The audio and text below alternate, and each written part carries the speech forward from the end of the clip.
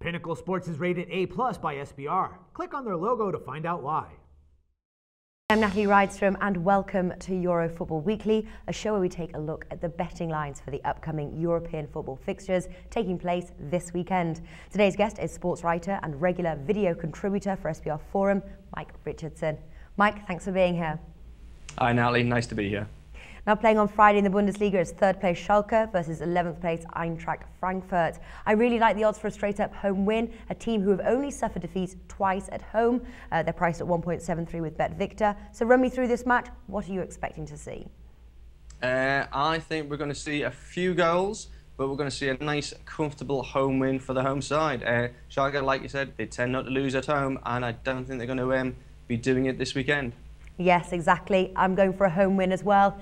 Now, also looking at um, on, on the goals here, you're expecting a few goals. Uh, Schalke is obviously the third highest scorers in the league. Uh, what, what bets are you going to take there? I think it's going to be reasonably close. Uh, Frankfurt have put five past Schalke, and Schalke have put six West Ham return in their last, I think, five meetings. So you might be tempted to go for a close game, but I'd stay away from the draw on this one. I think we're going to have one side coming out on top, and like you said, with home advantage, it's going to be Schalke. Um, otherwise, I mean, looking around at some of the other scores and things, uh, in recent history, these sides shared a 3-3 and a 0-0 back in November uh, 2013 and October 2010. When you look at the odds offered up on them, that's 18 to 1 and 45 to 1. I don't think that's very likely. We're going to see goals, but we are going to see a winner. So what are we expecting on the goals? Uh, what bet should we look like look at that focuses on the goal front? After all, Schalke is the third highest goal scorer.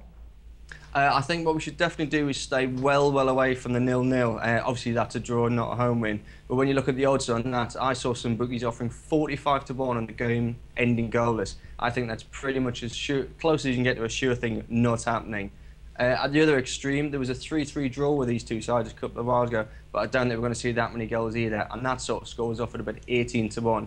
I think it's going to be a, a lower scoring game, uh, but I think it's going to go over the 2.5, but mm -hmm. not by much. Mm -hmm. And are you expecting goals from either side as well? Yeah, I think both sides will find the back of the net, but I do think that Schalke will get uh, more goals, which means it has to be over 2.5. So yeah. yeah. that's a safe bet. Stick your money on that one. Yeah. Okay. So we're looking at sort of like a, maybe like a 2-1 or something like that. Do you have a, a main tip for us? Yeah, I do. Uh, the easiest one is Schalke to win, but that's not the bestest of odds. So I'm going to go for the correct score. And after everything we've said, as you just said, has to be 2-1. And that runs at about 8 to 1. So you get a decent return as well for your money. Okay, 8 to 1 for that. Uh, Mike Richardson, thank you for joining us today. Cheers, Natalie.